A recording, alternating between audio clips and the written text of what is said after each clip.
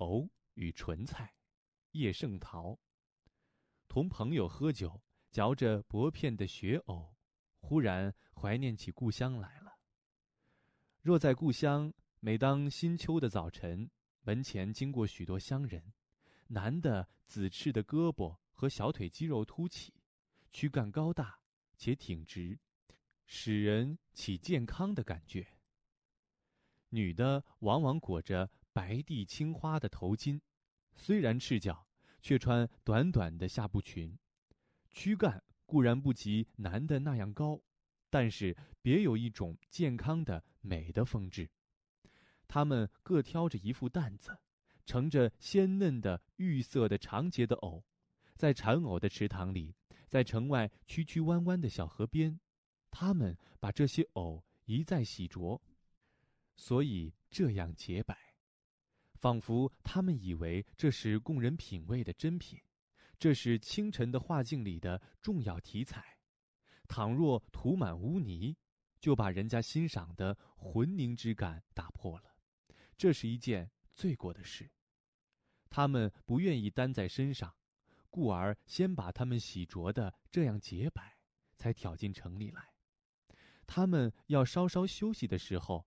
就把竹扁担横在地上，自己坐在上面，随便捡摘蛋里过嫩的藕腔，或是较老的藕脯，大口的嚼着解渴。过路的人就站住了，红衣衫的小姑娘捡一节，白头发的老公公买两只，清淡的甘美的滋味，于是普遍于家家户户了。这样情形差不多是平常的日课。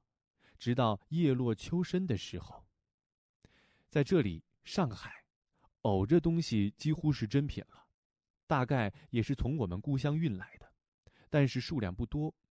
自有那些伺候豪华公子、硕富巨贾的帮闲茶房们，把大部分抢去了，其余的就要供在较大的水果铺里，位置在金山苹果、吕宋香芒之间，专待善价而沽。至于挑着担子在街上叫卖的，也并不是没有，但不是瘦得像乞丐的臂和腿，就是色得像未熟的柿子，实在无从新鲜。因此，除了仅有的一回，我们今年竟不曾吃过藕。这仅有的一回，不是买来吃的，是邻舍送给我们吃，他们也不是自己买的。是从故乡来的亲戚带来的，这藕离开他的家乡大约有好些时候了，所以不复成玉样的颜色，却满披着许多锈斑。削去皮的时候，刀锋过处很不爽利，切成片送进嘴里嚼着，有些干味儿，但是没有那种鲜嫩的感觉，而且似乎含了满口的渣。第二片。就不想吃了，只有孩子很高兴，他把这许多片嚼完，居然有半点钟功夫不再做别的要求。想起了藕，就联想到莼菜，在故乡的春天几乎天天吃莼菜。莼菜本身没有味道，味道全在于好的汤，但是嫩绿的颜色与丰富的诗意，无味之味。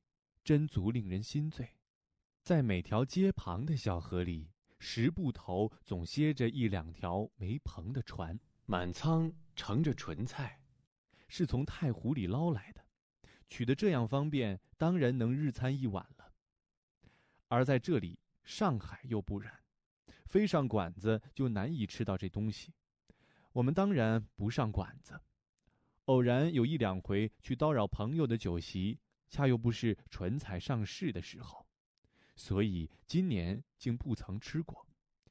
直到最近，伯祥的杭州亲戚来了，送他瓶装的西湖莼菜，他送给我一瓶，我才算也尝了心。向来不恋故乡的我，想到这里，觉得故乡可爱极了。我自己也不明白，为什么会起这么深浓的情绪。再一思索。实在很浅显，因为在故乡有所恋，而锁链又只在故乡有，就萦系着，不能割舍了。譬如亲密的家人在那里，知心的朋友在那里，怎得不恋恋？怎得不怀念？但是仅仅为了爱故乡吗？不是的，不过在故乡的几个人把我们牵系着罢了。若无所牵系，更何所恋念？像我现在，偶然被藕和纯菜所牵系，所以就怀念起故乡来了。锁链在哪里，哪里就是我们的故乡了。选自叶圣陶散文甲集，四川人民出版社一九八三年版。